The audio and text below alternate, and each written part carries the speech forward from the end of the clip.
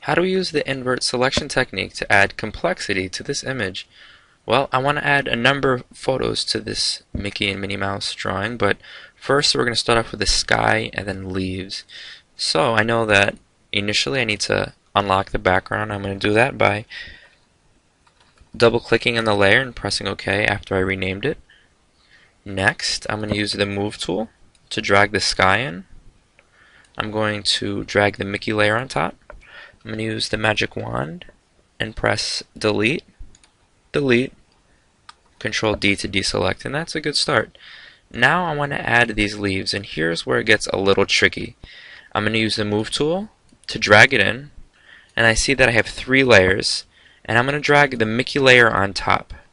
I'm going to use the magic wand tool to select the main part, and I'm going to then hold shift to select and select again these two smaller areas of the tree. Now what I'm going to do is press delete and the tree looks pretty good so far but what I must do next is press control shift I to invert the selection. So now all the selection outside of the tree is what we can modify and if I press delete I got I know that I deleted the Mickey image and we do not want to do that so I'm going to press control alt Z and jump to layer 2, the leaves image.